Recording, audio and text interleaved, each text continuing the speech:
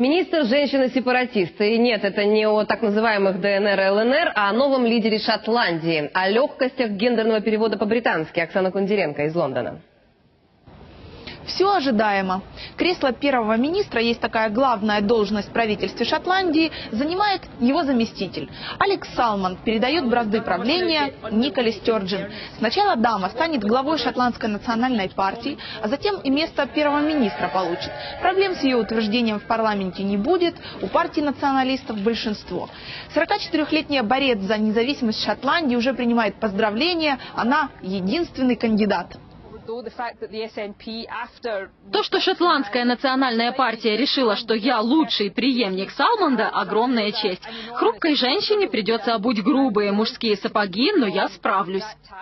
Правда, Стюарджин и Салман не справились на референдуме о независимости. Недавний проигрыш – это ее поражение. Тем не менее, националисты остались у власти и сохранили все кресла. Но Салман горделиво ушел. Стюарджин и дальше собирается бороться за права шотландцев и большую автономию региона. Делает это уже почти 30 лет. Она примкнула к сторонникам независимости в 16, а вскоре стала самым молодым кандидатом в местный парламент. Никола давно занимает высокие должности и в партии, и в местном правительстве. Активно раздает интервью, приглашает журналистов домой. Даже ее супруг партийный коллега. А еще новое лицо шотландского сепаратизма. Политик с самым высоким рейтингом.